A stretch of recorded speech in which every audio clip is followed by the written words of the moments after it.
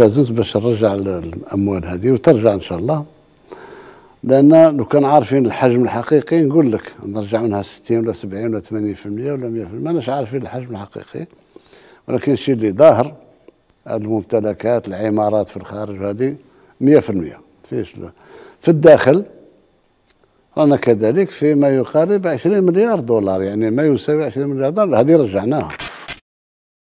أرقام رهيبة لا يمكن ذكرها باللسان. ترجمتها حجم الأموال المنهوبة والمهربة إلى الخارج. فحسب الإحصائيات الأخيرة للعمليات التي نفذتها الأجهزة الأمنية بالتعاون مع السلطات القضائية تراوحت ما بين ال 25 و 27 مليار دولار.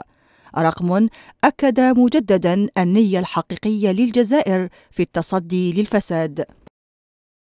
وهذا ما لوحظ من كل الدول الأوروبية أن الجزائر تتوجه نحو مكافحة الفساد آه، آه، دعما وتطبيقا للاتفاقيات الدولية لمكافحة الفساد لأنها جريمة جريمة عابرة للحدود وتتعامل بطريقة متبادلة وهي تجيب الجزائر في كل الإنابات التي تتوجه إلى الحصول على ذلك الأموال. حقيقة الإجراءات سارية في الطريق آه، السوي وهذا ما جاء على لسان وزير العدل السيد طبي حافظ الأقدام. إبداء الدول الأوروبية الأوروبية استعدادها للتعاون مع الجزائر من أجل استرداد الأموال جعل عملية ضبط وتعاقب الأموال واكتشاف مخابئ إيداعها تتم بنجاح فزيادة معدل هذه الأخيرة أعجز المراقبين في معرفة حجم البضائع المحجوزة. في استرداد الأموال المنهوبة وقفوا على باللي فيه نية وإرادة صادقة لمحاربة الفساد على ذيك اللي ولا فيه يتعاملوا معنا بكل ما يتعاملوش معنا بكل صراحة.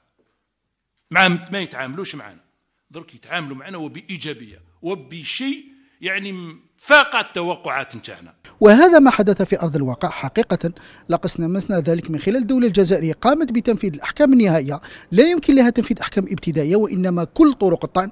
وهذا ما أظن جاء على لسان رئيس الجمهورية أنه استوفت كل طرق الطعن العادية والغير عادية وتوجهوا إلى الحجوز من عقارات وأموال ومنقولات.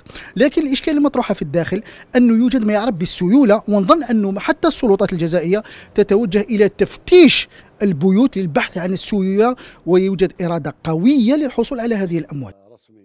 التزامات رئيس الجمهورية عبد المجيد تبون خلال الحملة الانتخابية في استرداد الأموال المنهوبة تجسدت على أرض الواقع ولعل التقارير الأخيرة أثبتت المساعي الجدية للجزائر في المضي قدما لمحاربة الفساد.